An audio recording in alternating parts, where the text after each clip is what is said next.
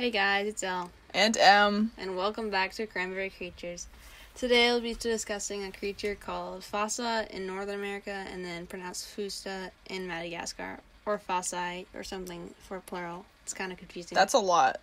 I, so it's Fossa, Fusa, if you're actually saying it right, and then And then- Fossae might be like the plural. Let's talk about Fasai.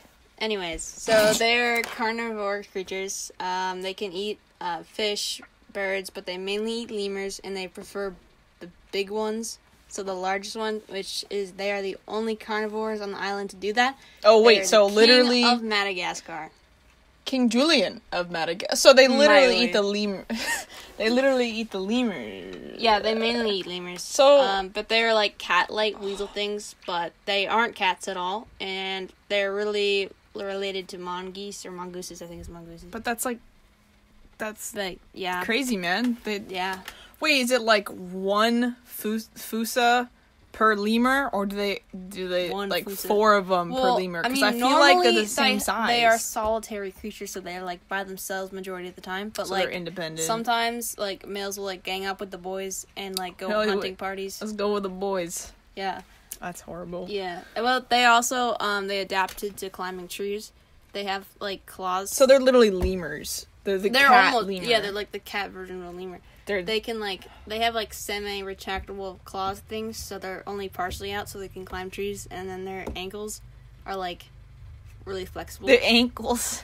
Ooh, she Okay. got my ankles. Yeah, they only live in Madagascar unless they're like go to a museum or something. But like, they only live in Madagascar. They only live in Madagascar like an unless you go to a museum where they're dead. Well, oh, oh, Thanks, okay, Elle. thanks.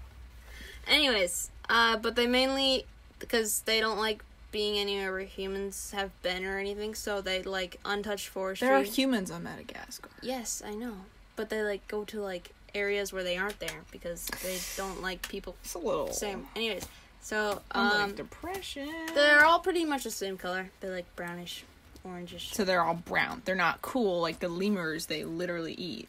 Yeah, not like the last one we did with the golden yellow. Anyways, um, they are around twenty pounds. About 20 pounds. Around pounds. twenty pounds. Y'all can they do some can curls. Reach two and a half feet long, and well, that's not including the tail.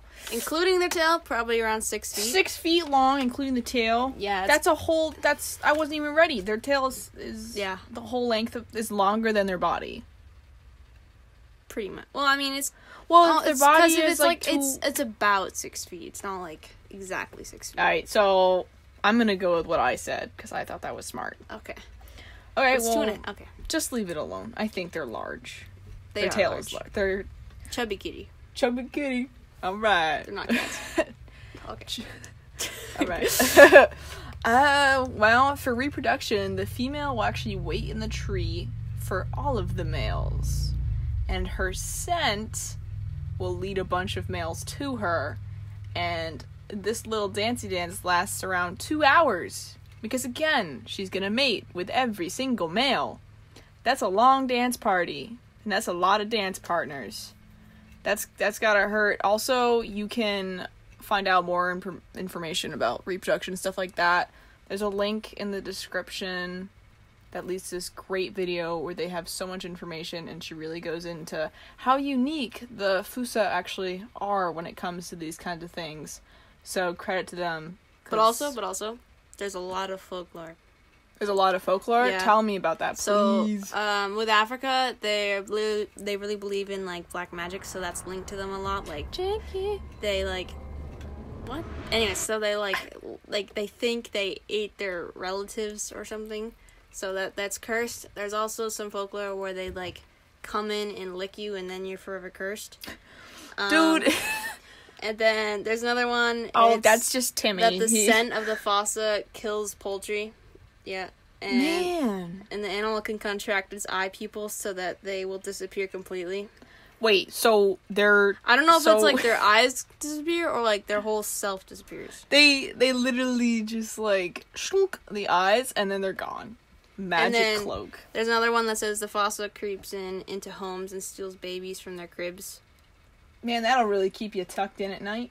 Why would you? Are you gonna tell your baby that? Oh, they Oh, yeah. don't understand what you're saying. Watch out, bad kitty, bad chubby cat. It's not a cat. Watch out for that mongoose. He'll come get you because you know what I'm monkey saying. thing.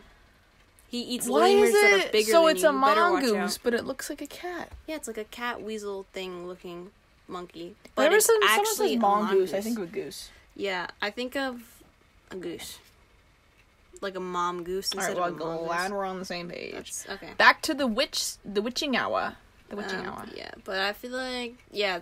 So back to licking their face, it's like they also put you in a deep trance.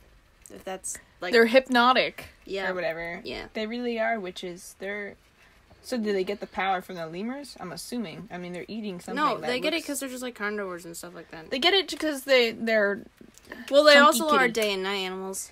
day They're- and night.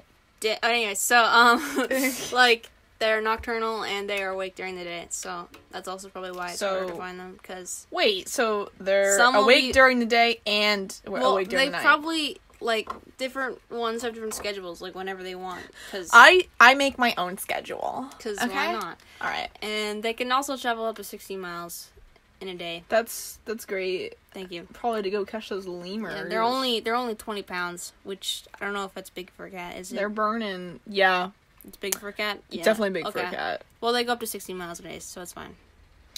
Wow. And they're just on Madagascar. So King of Madagascar. well, I guess is that That's all. that's it for the fossa, the fusa. Yep. Okay. Well, thanks guys. Ciao.